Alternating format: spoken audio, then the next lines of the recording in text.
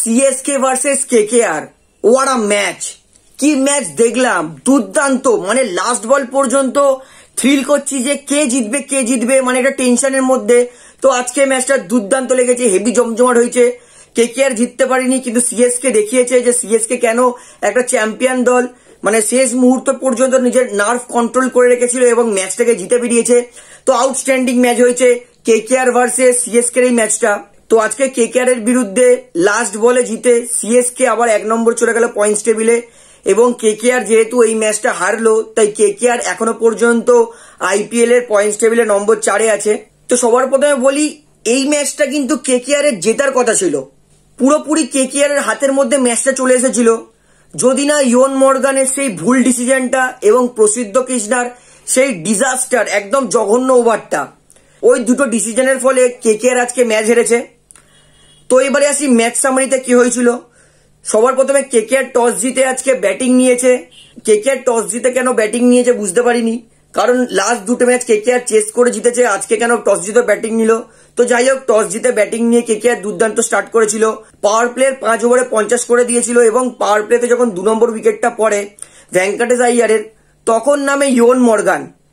কেন ইয়ন মর্গানকে নামিয়েছে কোনো কোনো অ্যান্সার নেই, কোনো এ নেই ইয়ন মর্গান, কোনো কোনো ফর্ম নেই ইয়ন মর্গানের গায়ে জোর নেই, টাইমিং নেই ছয় মারার।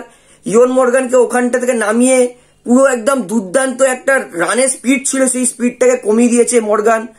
তো ইয়ন মর্গানকে নামানোটা হচ্ছে আজকে প্রথম খারাপ ডিসিশন ওইটা হচ্ছে প্রথম ভুল ডিসিশন ইয়ন মর্গানকে নামিয়ে পুরো গেমের পেস স্লো করে দিয়েছে।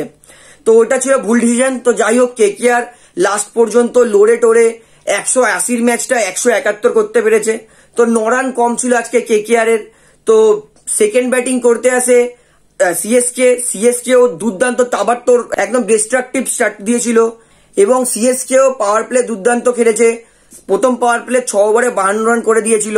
সিএসকে শুরুতে এত ভালো খেলছিল যে সিএসকে কে চোদ্দ ওভারে একশো আঠেরো করে দিয়েছিল।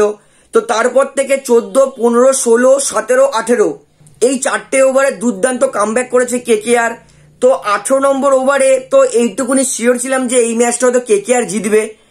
মর্গান, কেন ওই ওভারটা সুনীল নারিনকে দিয়ে বরুণ চক্রবর্তীকে দিল? আমি ঠিক বুঝতে পারছি না।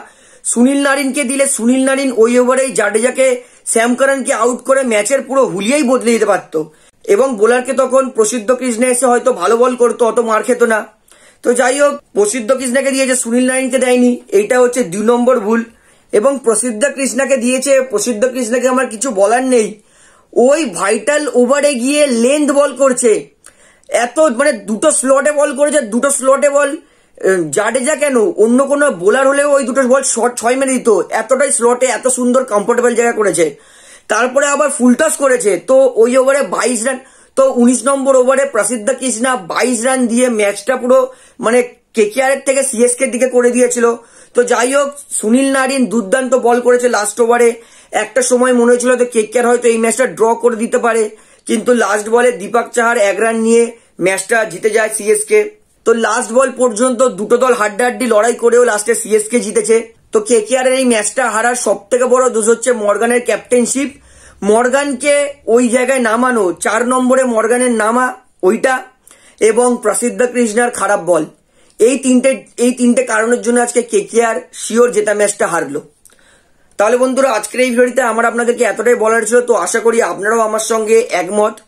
তো বন্ধুরা, এই ম্যাচ সম্বন্ধে আপনাদের কি মতামত সেটা অতি অবশ্যই কমেন্ট সেকশনে কমেন্ট করে জানাবেন। তাহলে বন্ধুরা, আজকের এই ভিডিওতে আমার আপনাদেরকে এতটাই বলার ছিল, তো আশা করি ভিডিওটি আপনার ভালো লাগল। ধন্যবাদ। এবং বন্ধুরা চ্যানেলটিতে অবশ্যই সাবস্ক্রাইব করে বেল আইকন প্রেস করে অল করে রাখবেন।